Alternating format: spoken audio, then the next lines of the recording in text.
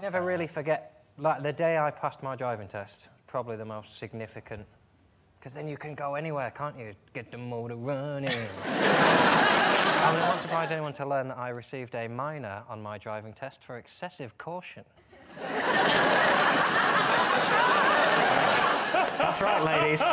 really annoyed me. You know you're a fanny when on your driving test the instructor's saying, so when I tap the dashboard, I want you to slow down, but for the rest of the time, can you frigging strap on a pair just put your foot down? I think it's, uh, it's a big, big time for, you know, teenagers passing their test. I just think it's a very strange, strange thing that uh, we pick that time in life to give kids the opportunity to drive. You know, it's the most sort of hormonally volatile you can be. So are you, are you emotionally insecure and randomly aggressive? Here, have a machine that can kill yourself and others. You know, like... when, when, can you apply for your provisional licence?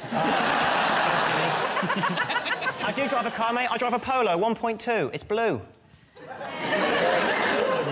Yeah, take that. Yeah, exactly.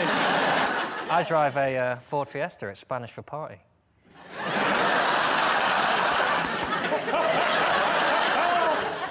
I feel completely left out. Do you drive? I've never passed my driving test. Oh. I took it once and failed it so appallingly badly, I said I'm never ever going to drive again and I haven't. I respect you for that. I think if you fail your test three times, you should be banned for at least 10 years. Uh. People think they have a right to drive, and they're like, well, I'll get there in the end. Well, you're clearly shit at this. you have to be told to stop now. Like, I failed six times, but then I passed on the seventh. Well, you're probably still shit. Do you drive, Sarah? Yeah, I passed second time. Apparently, all the, the safest drivers are those who pass the second time but I drove into oncoming traffic in my first one. but I didn't on the second one.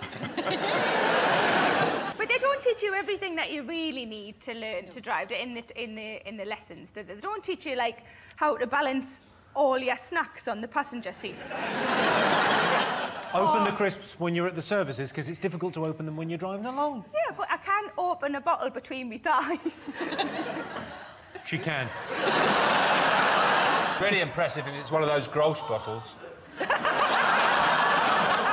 Shame my house here for that. I think there should be different levels of test as well. I think there should be a test that you can drive without the radio on, and then there should be another test where you could drive looking at a text, making a phone call, chatting to your friends, and then there should be a high level test where you're so good you can have a few drinks. okay,